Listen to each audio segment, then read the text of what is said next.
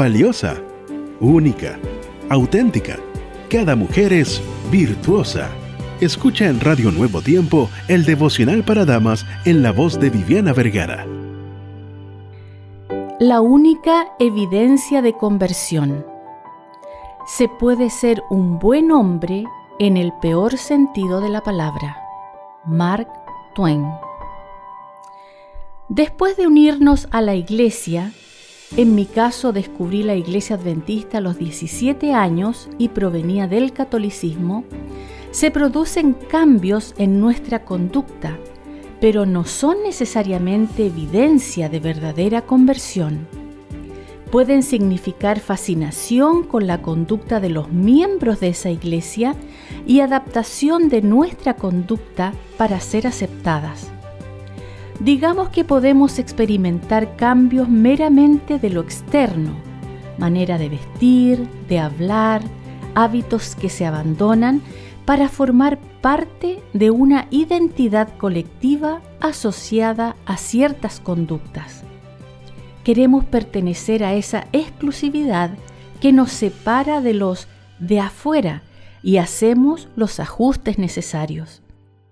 Pero la conversión no es ajustarse a una serie de prácticas que definen una cultura religiosa, sino experimentar un cambio interior basado en el Evangelio y que define completamente nuestra cosmovisión, un cambio que gira en torno al amor de Dios. Por eso el apóstol Pablo que anteriormente vivía ajustado en conducta externa a la religión farisaica con la que se identificaba, pudo escribir, Si hablo las lenguas de los hombres y aún la de los ángeles, pero no tengo amor, no soy más que un metal que resuena o un platillo que hace ruido.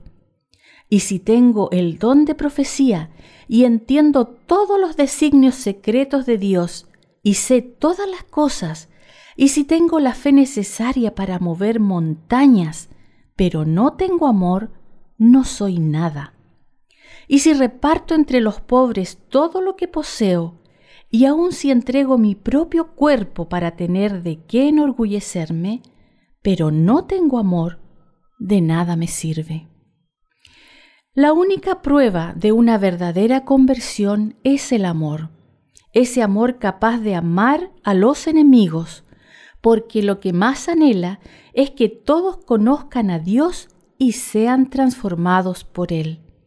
Cualquier otro tipo de cambio de conducta externa que no provenga de esa conversión interna producida por el amor de Dios a través del Espíritu Santo, conduce al orgullo denominacional.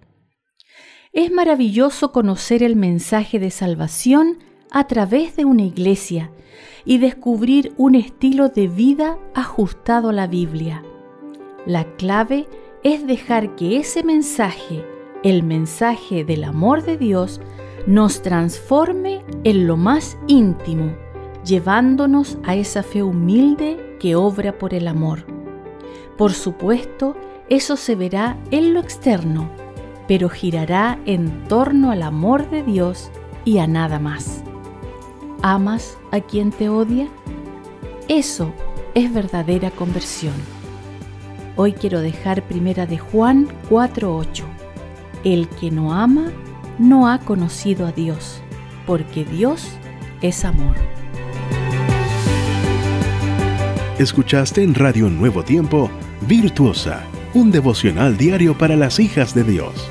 Sigue en la compañía de la voz de la esperanza.